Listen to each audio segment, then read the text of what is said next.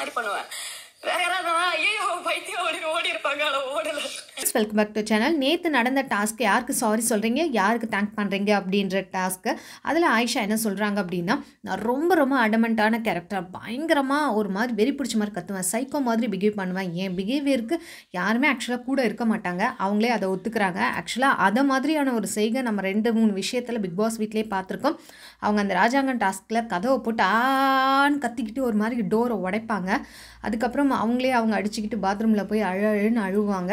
அதுக்கப்புறம் அதே மாதிரி ஃபஸ்ட்டு வந்த இதில் வீக்லி இதில் நாமினேட் பண்ணும்போது சில பிரச்சனைகள் அப்போவும் அதே மாதிரி ஒரு மாதிரி கத்துனாங்க அவங்க. ஸோ டக்குன்னு டெம்பர் ஆகக்கூடிய பர்சன் தான் அவங்க.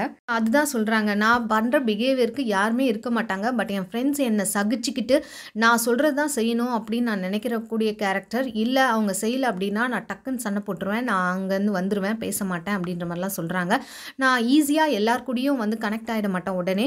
அப்படியே கனெக்ட் ஆனால் கூட நான் என்ன பண்ணுவேன்? ரொம்பலாம் ஃப்ரீக்வெண்ட்டாக ஃபோன் பண்ணி எப்படி இருக்க? எப்படி இது பண்ணுறேன்லாம் நான் ஃபோன் பண்ணி கேட்கவே மாட்டேன். ஆனால் எனக்கு ஒரு கஷ்டம் வரும்போது நான் டக்குன்னு நடுராத்திரியாக இருந்தாலும் ஃபோன் பண்ணி என் ஃப்ரெண்ட்ஸ்கிட்ட பேசும்போது என்ன இப்போ மட்டும் உனக்கு தேவையா? அப்படின்ற ஒரு வார்த்தை கூட அந்த மாதிரி என்னை பேசினதே கிடையாது. நானாக அந்த கூட அப்படி பேசுவேன். பட் என்னை அப்படிலாம் அது அவங்க நடந்துக்கிட்டதே கிடையாது.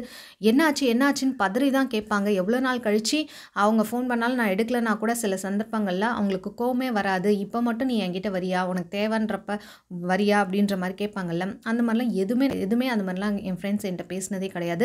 ஸோ நான் அதை வந்து ரொம்ப கிராண்டடாக எடுத்துக்கிட்டணும்னு தோணுது.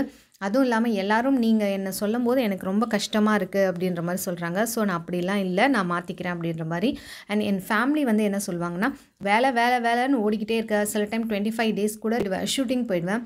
போயிட்டு வந்து எனக்கு ஜாலியாக இருக்கணும் எங்கேயோ ஃப்ரீயாக போகணும் ஸ்ட்ரெஸ்ஸாக இருக்குது அப்படின்னு நான் நினைப்பேன். ஃபேமிலி கூட ஸ்பெண்ட் பண்ணவே மாட்டேன். எங்கள் ஃபேமிலி அதான் சொல்லுவாங்க என்னென்னா வேலை வேலை வேலைன்னு ஓடுற கொஞ்ச நேரம் எங்களுக்காக ஸ்பெண்ட் பண்ண அப்படின்ற மாதிரி தான் கேட்பாங்க. அந்த டைமிங்ன்றது ஒரு முக்கியமான ஒரு விஷயம். அதை கூட என்னால் ஸ்பெண்ட் பண்ண முடியாது. நம்மளுடைய சந்தோஷத்தையே நம்ம பார்த்துட்டோம். இதெல்லாம் நான் மாற்றிக்கணும்னு நினைக்கிறேன். ரொம்பலாம் பெருசாக மாறிட மாட்டேன். லைட்டாக மாற்றிக்கிறேன் அப்படின்ற மாதிரி சொல்லிகிட்ருக்காங்க தென் மீடியா பீப்புள் பார்த்திங்கன்னா வாய்க்கு வந்தது கண்டதையும் எதேதோ பேசுகிறாங்க போடுறாங்க இஷ்டத்துக்கு பேசுகிறாங்க வாயில் கெட்ட வார்த்தை தான் வருது அப்படின்ற சொல்லி சிரிக்கிறாங்க. என்ன தெரியும் உங்களுக்கு எங்களை பற்றி அப்படின்னு மீடியாவில் இருக்கிறதுனால ஏதோ சகிச்சிட்டு நம்மளை பற்றி வர விமர்சனங்கள். சரி அப்படின்னு அட்ஜஸ்ட் பண்ணி போயிடுறோம். ஆனால் நம்மளை சார்ந்து இருக்கவங்க மீடியாலே இருக்க மாட்டாங்க. பட் அதையும் அவங்க ஹேண்டில் பண்ணுறாங்கன்னா எவ்வளோ பெரிய ஒரு விஷயம் அப்படின்னு சொல்லி சொல்கிறாங்க ஸோ நான் வந்து என் ஃப்ரெண்ட்ஸுக்கு ஃபேமிலிஸ்க்கு சாரி சொல்கிறேன் நான் மாறிக்கிறேன் அப்படின்னு நான் நினைக்கிறேன் அப்படின்ற மாதிரி சொல்கிறாங்க ஆக்சுவலாக இவங்க பிக் பாஸ் விட்டு வெளியில் போனதும் ஷெரீனாக்கு ரொம்ப ரொம்ப அப்செட் ஏன்னா ஷெரீனா போனப்போ எலிமினேட் ஆனப்போ கதறி கதறி கதறி அழுதாங்க. அப்படி நான் உடனே வெளியில் போகணும் அப்படின்னு சொல்லிட்டு இருந்தவங்க. ஆனால் வெளியில் போன பிறகு ஷெரீனா கூட ஃபோன் பேசவே இல்லை அப்படின்ற மாதிரி சொன்னாங்க. அண்ட் தனலட்சுமி கூடயும் ரொம்ப அட்டாச்சில் இருந்தாங்கன்னு சொன்னாங்க. பட் தனலட்சுமி கூடயும் வெளியில் போய் பேசிக்கல அப்படின்ற மாதிரி சொன்னாங்க. ஆனால் உள்ளே வந்த பிறகு ஷெரீனாட்ட சாரிலாம் கேட்கல. பட் தனலட்சுமிட்ட ஓகே அப்படின்ற மாதிரி பேசிகிட்டு இருந்தாங்க.